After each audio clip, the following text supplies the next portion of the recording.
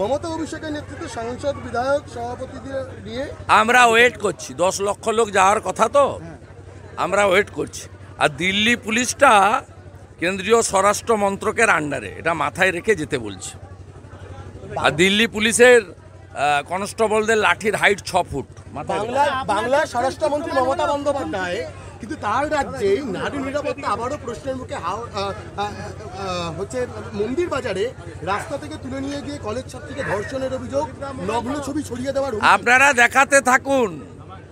এদের কোনো প্রতিক্রিয়া নেই। বেহালায় থাকে, শালবনিতে ইনভেস্ট করবে, স্পেনে গিয়ে তাকে ঘোষণা করতে হচ্ছে। তার কাটা উন্মাদের রাজত্ব।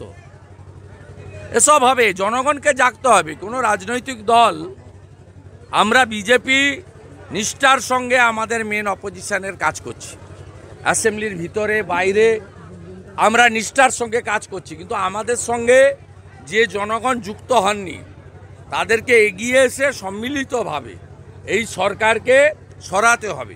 নন্দীগ্রাম মমতা ব্যানার্জিকে অনেক আগে চিনেছিল বলে পরিত্যাগ করেছে। কিন্তু বাংলার মানুষকেও আজকে নন্দীগ্রামের মাটিতে দাঁড়িয়ে বলব, নন্দীগ্রামের দেখানো পথে হাঁটতে হবে, তাহলেই পরিত্রাণ মিলবে, নইলে পরিত্রাণ মিলবে না।